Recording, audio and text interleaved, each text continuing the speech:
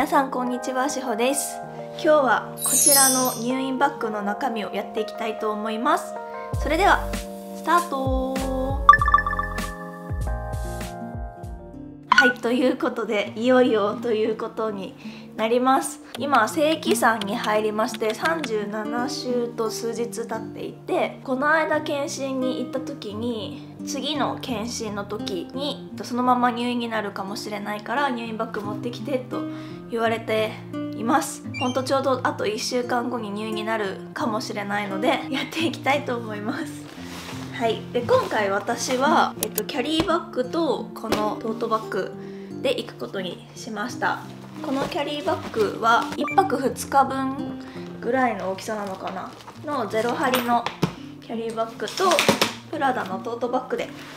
行こうと思っています。あとはなんか自分の貴重品とかはこう普通のカバンも持っていこうか。そんなにいらないかなとか今まだ悩んでいるところなんですが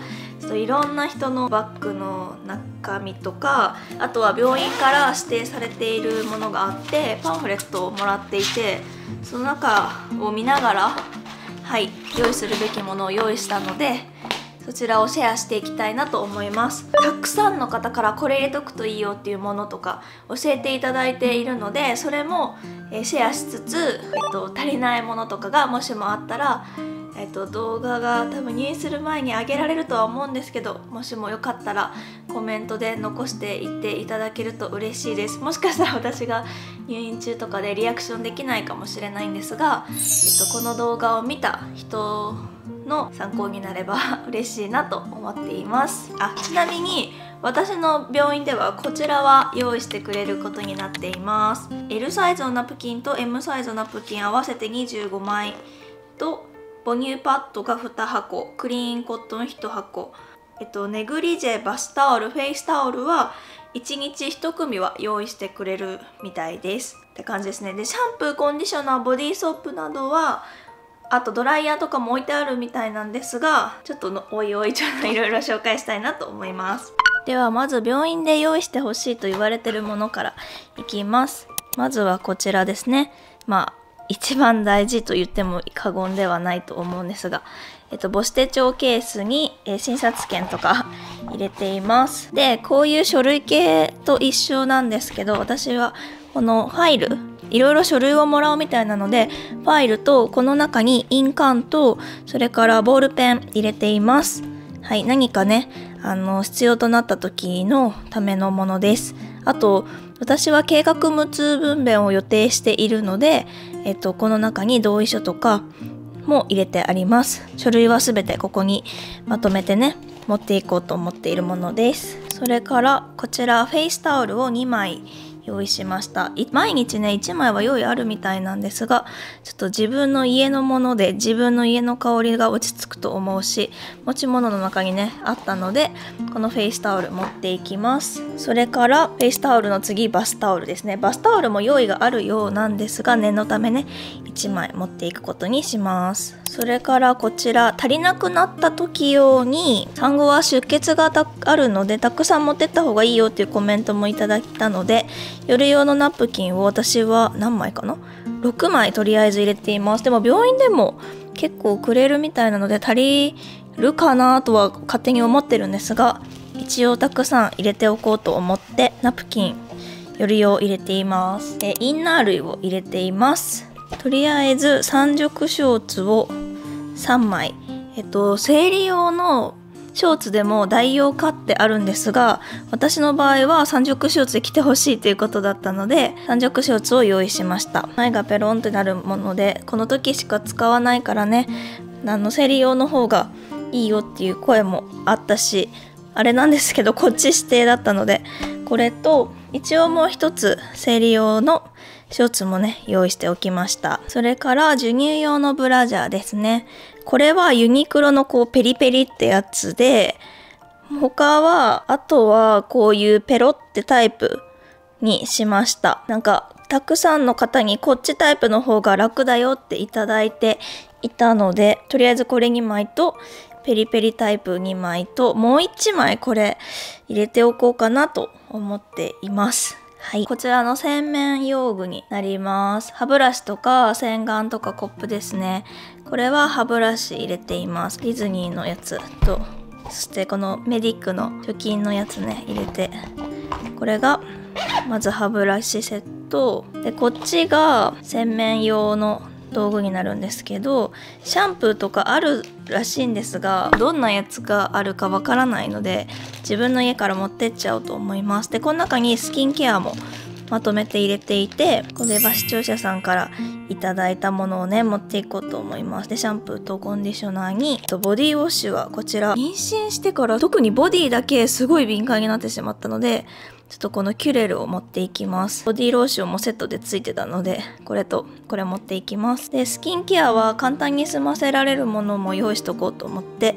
このキュレルのスプレーが小さいサイズあったのでこれとこれがちょっとこれから発表になると思うんですが私が作っているオールインワンのクリームです。これ一つでもいいし何かね化粧水とか美容液とかと合わせてもいいクリームを作って、えー、無香料だしすごく肌にいい成分をたくさん詰めたこだわりの一品なのでもうこれ1個でも済ませられるからとりあえずちょっと寝不足とかスキンケアしてる余裕がもしかしたらないかもしれないのでこれだけでね済ませられるようにこれを持っていきます。あと友達からあった方がいいよって言われて入れたソンバー油をねこの小さいものに詰め替えました。おっぱいのケアのためにね持っていこうと思います。であとヘアブラシカサカサになると困るので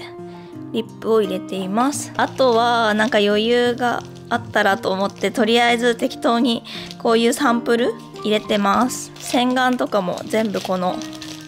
このサイズの使い切りの洗顔をね入れています。こっちは余裕があったら用みたいな感じで癒しグッズとかを入れています。この袋も視聴者さんにいただいたものです。ありがとうございます。めっちゃ可愛い。こっちにはすごいね持ってった方がいいよって言われていたこのメディキュットを入れました。産後はすごいむくむらしいので、なんかそれもどんくらいむくむんだろうと思ってドキドキしてるんですが、このメディキュット、ちょっとこのままくるくるのままだけど、とりあえずこれを入れたのと、蒸気でホットシリーズ入れています。アイマスクで、こっちは首元あったかシートですね。首を温めたいなって時に使おうと思います。でこれはなんかちょっと仮眠したいとか授乳と授乳の間とか寝たい時にいいよってすごい声をいただいたのでとりあえずたくさん入れときました。私1週間ぐらいは入院する予定なのではいたくさんね入れておこうかなと思ってこれだけ入れています。こっちにもこれ入ってた。これ赤ちゃん本舗で買った。ニプルベールっていうママキッズのこれは乳頭ケアのオイルじゃないクリームかな？ですね。これでね乳頭ケア、まあ、さっきのソンバー油もそうなんですけどこれでちょっとケアしたいなと思っています。まあこれは本当余裕があったらシリーズと香りを楽しみたいっていうのがなんですが大好きなルルルンの舞妓さんのパックこれは余裕があったらやろうと思います。匂いが大好きで癒されたいなと思って使っていて持っていこうと決めたシトラナのマスクです。私はこのモイスチャーを使っていてこのねシトラナの香りが本当に大好きで癒されるのでこれをね入れていこうと思います。顔に使わなくても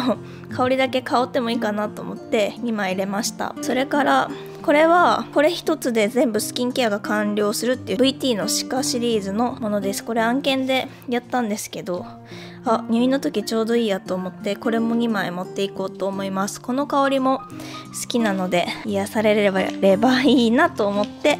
これは余裕があったらシリーズでこっちのポーチに入れています。あとこれ洗剤洗濯洗剤とこれはインビザラインのマウスピース入れも入れていきます。ドライシャンプーもね持っていく予定です。出産日の2日前から私は入院する予定で3日間はお風呂入れないみたいなのでこのドライシャンプーを入れています。こういうボディシートもね一応入れておきました。こちら熱さまシートも入れました。一応計画無痛の予定なんですが予定日前に陣痛が来てしまったら普通に産むことになるのでこういうのも入れておきます。あとすごくよく皆さんにおすすめされた S 字フックもねそのまま入っています。こちらも皆様からのおすすめの延長コードも入れています。4つ穴開いてるのと横は USB もつけれるものですね。今このもうちょっと小さいサイズを家で使っていてすごい便利だったので今回これ追加で1個買って病院に持っていこうと思っています。ヘアゴムさっきのこっちにも入れてあるんですけどいろんなところにヘアゴムを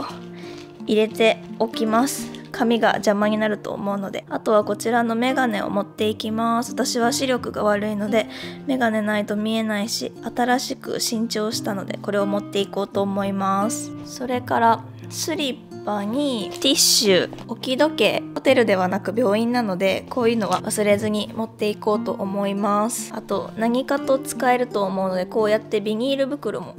小さいやつね小さく畳んで持っていこうと思います。こちらペットボトルにのお水とストロー付きペットボトルキャップこれもね持っていこうと思っているし用意してくださいって書いてあったので持っていきます。あとは意外と忘れそうなマスクもね大好きなアイリスオーヤマとこの血色マスクを用意しました。あとは一応自分のコスメメイク用のコスメもこの中にちょっとだけ入れています。あんまり入れてないしこういうサンプル類を使おうと思ってるし余裕がないかもしれないのでこれ使うかわかんないんですけど一応持ってきます。あとはちょっと赤ちゃんのものになるんですがこの中にガーゼのハンカチと退院着そしてあとねこのね爪切りも用意したのでこの爪切りも持っていこうと思います。あと赤ちゃん用のお尻拭きと紙おむつを持ってきてくださいっていうのがあったんですけど病院で用意してくれるから最悪足りなかったった時にあの夫とはね面会はちょっと制限はされてるんですけど荷物の受け渡しは代わりにがん看護師さんとか助産師さんたちがやってくれるみたいなので足りなかったらこれはね持ってきてもらおうかなと思って用意してあります。こういう小さいバッグとあとこういう小銭とかはなんかちょっとラウンジとかに行く時とかあと自販機とか使う時に小銭あるといいよっていうコメントをいただいたのでこの中に小銭入れて前ねグッズで出したこのトートバッグも一応入れておこうと思って用意しました。はい今ねざーっとご紹介したんですがあとはなんか一応洗濯ものもう一式持ってきてってことだったのでハンガーも一応入れるのとドライヤーサロニアのものなんですけどドライヤーもあるみたいなんですがちょっと入れていこうと思っています。で産後多分すぐつけると思うベルトです。私はトコちゃんベルトとこのピジョンのなんか3000から使えますよっていうベルトを使っていて私はね腰痛はあんまりなんですけど関節がすごい痛くてひどいので今でも外出てこう歩く時とか、まあ、家の中でもこのワンピースの上からとかでこれはねめちゃくちゃ愛用してます。でこれをちょっとこうギュッとは締めないんですけどであげるだけですごいねお腹が支えられるし股関節の痛みも軽減するのでこれ本当に買ってよかったです。あとは家族とか友達とか、まあ、自分で行ってもらった安産祈願のお守りがあるのでこの中に入れて持っていこうと思っています。あとはですね今ここのカバンの中にはまだ入れていないんですが充電器カメラ今使っているカメラ写真ねたくさん撮りたいしもしも回せたら入院中の自分の様子とかも、えっと、記録に収められたらいいかなと思ってカメラそれからパソコンも持っていこうかなとは思っています。こういう三脚とかもね持っていこうかなと思っています。はいちょっと追加で入れるものになるんですけど最近すごくまた寒くなってきたので急激に。このカーディガンを一つ羽織用に入れました。これはユエミーのカーディガンとこのブランケットもうちょっと寒いかもしれないの嫌なのでこのブランケットにお気に入りの香水をシュッと吹きかけて持っていこうと思います。あと紹介し忘れてたんですが、退院の時に着る私のお洋服も入れたのと、あとここにはないんですが、抱き枕も持っていこうと思います。えっと、授乳用クッションと円座クッションに関しては病院にあるっていうのをもう事前に確認しているので、普段使っている抱き枕をあとは持っていこうかなと思っています。急激に寒くなってきたので寒さ対策としてもこの2つをね入れていこうかなと思っています。これねだけじゃ寒いと思うのでおくるみも持っていく予定です。